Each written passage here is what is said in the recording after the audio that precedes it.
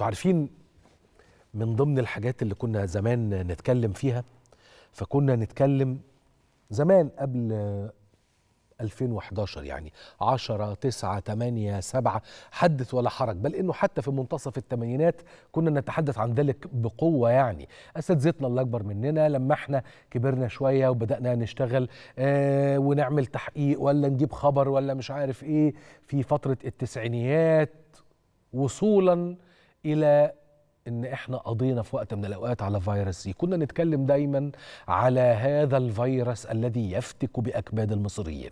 كنا نتحدث دايما ونتكلم وننشر قدر استطاعتنا إنه يا ترى هل ترى هو كلى المصريين عاملة إيه؟ الكلى باللغة العربية كلى عاملة إيه؟ ويا ترى فيها إيه؟ والناس بتعاني إزاي؟ وحجم المعاناة بيتم إزاي؟ وعلى ما يبدو أنه لقب غنيم هو لقب لأولئك الناس اللي عايزين يرفعوا عن كاهل عشرات الآلاف هذه المعاناة. بدأها الأول الدكتور العظيم الدكتور محمد غنيم بمركز الكلى في المنصورة وعام قطع مشوار عظيم لأجل صحة المصريين. خد بالك.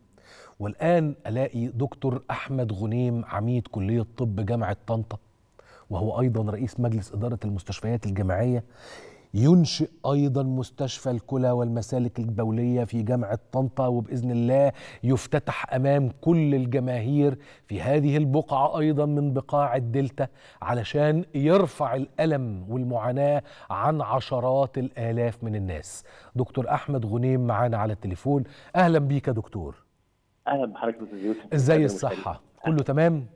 كله تمام إزاي؟ صوتك بيوحشنا وبسعد لما أسمع صوتك في حاجات حلوة زي كده.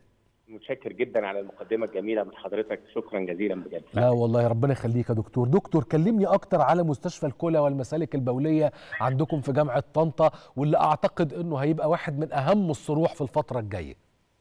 آه تمام. دي حقيقة فعلا إن شاء الله. هي ومستشفى أمراض وجراحات الكلى والمسالك البولية ده مستشفى جديد فعلا آه، بدأ إنشاؤه من حوالي سنتين ونص ثلاث سنين.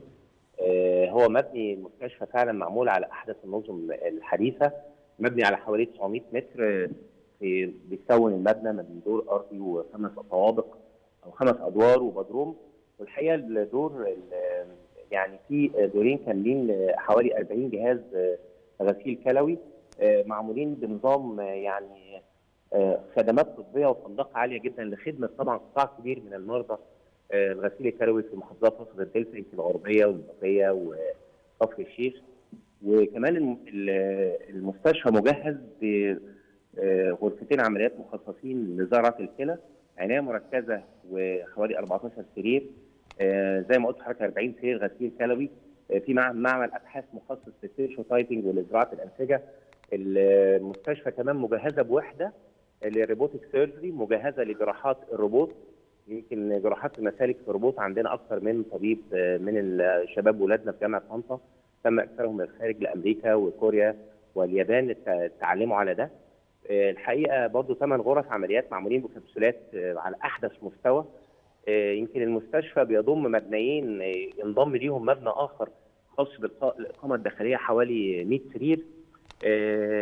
فريق عمل كبير جدا. قسم جراحة المسالك البولية فيه أساتذة آه، يعني على قدر كبير من العلم. إحنا بنسميهم مخضرمين في التخصص ده. وزي ما حضرتك قلت إن كلى الم... يعني أمراض الكلى وبالذات في وسط دلتا محتاجة اهتمام. طبعا. يمكن ده مركز فعلا. وزي ما حضرتك قلت طبعا أنا لا يعني يعني لا أرقى طبعا زي أستاذ العالم الجليل الدكتور محمد غليم. ولكن عندنا أساتذة وعلماء كثيره في جامعة طنطا.